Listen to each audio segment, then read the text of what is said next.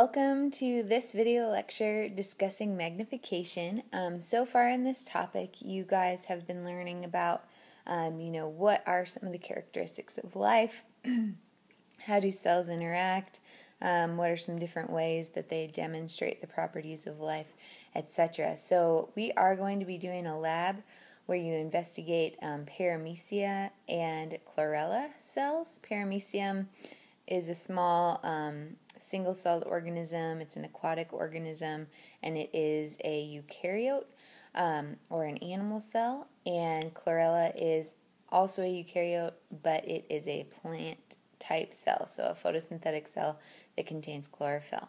You guys will be using a light microscope to investigate um, some of the properties of life of these cells and how they function, how they behave under certain situations. Um, in addition to this, you're going to be calculating the magnification of these structures and of drawings of other structures. So before we get to our investigation, we need to learn how to actually calculate magnification. The real simple definition of magnification is the number of times larger an image is than the specimen.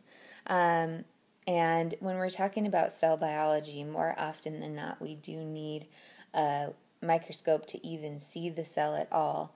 Um, the human ovum or the human egg cell is actually one of the largest cells, and that is visible um, to the naked eye, just barely. But to see any of the structures within the cell, or even to see most cells, a microscope is required.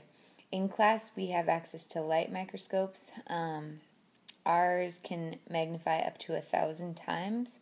Some light microscopes can magnify up to 2,000 times. Um, there are other microscopes, such as electron scanning microscopes, that can magnify up to 500,000 times um, and have better resolving power. And resolving power is the ability to distinguish between two things that are very close together in a magnified image. Um, so, for a light microscope, you're going to be able to see more detail and, of course, much greater magnification. However, in order to use an electron scanning microscope, the specimen has to be coated in some type of metal, some type of he- heavy metal, such as gold or possibly carbon. And of course, this does um, kill the organism and in some ways alter what you see.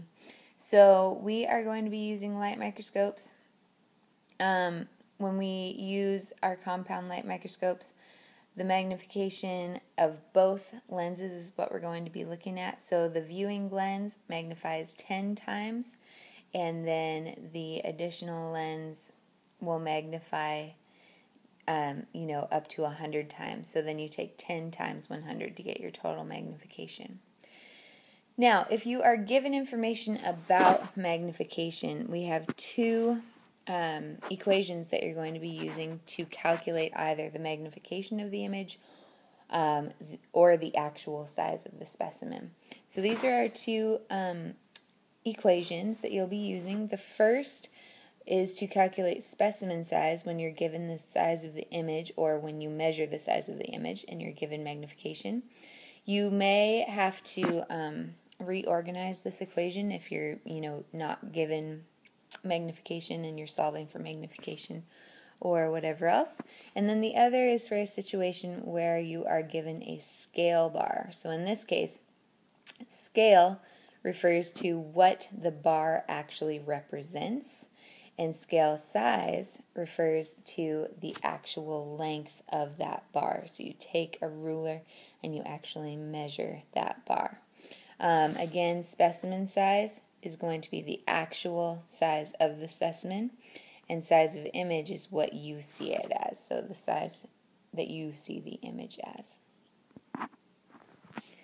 For the last part of your notes for this video lecture, I'd like you to complete these practice problems using the equations given.